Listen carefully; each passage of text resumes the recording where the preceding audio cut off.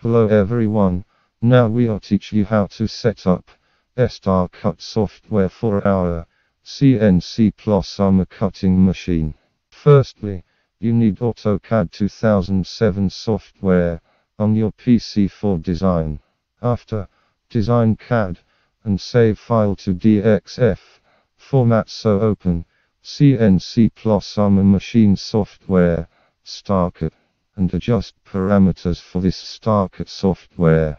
Add job on StarCut software and process it to cutting files.